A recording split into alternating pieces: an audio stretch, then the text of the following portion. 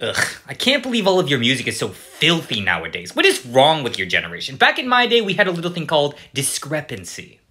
Hey everybody here, get in my car cause we're going on down to the orgy shack. Yeah, we're gonna have an orgy in a shack. It's out in a field. That's the orgy shack. There's people waiting in line down the field for their turn inside the orgy shack. So get inside my car. It's really big cause we're heading on down to the orgy shack.